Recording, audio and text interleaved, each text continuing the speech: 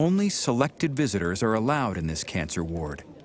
And to protect the patient's challenged immune systems, their dog doctors are cleared before doing their rounds. Hey, do you want to see Winnie? She needs some help.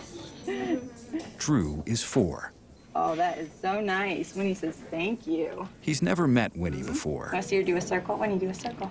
Winnie, do a circle. Did she tickle you? While Circle. Drew's with her, his go. anxiety levels decrease. There you go. Okay. Studies wanna do it show that stroking a dog lowers blood pressure and reduces the stress hormone cortisol in humans and in dogs. Oh, oh no. Okay, she's gonna dance. Ready? Dance. Is that pretty good, huh? Doctors here think dogs like Winnie are making a real difference. Good girl. Certainly, from my perspective, if there's something that helps a patient feel more at ease and more at peace that doesn't have any side effects, that's an amazing benefit for everyone involved.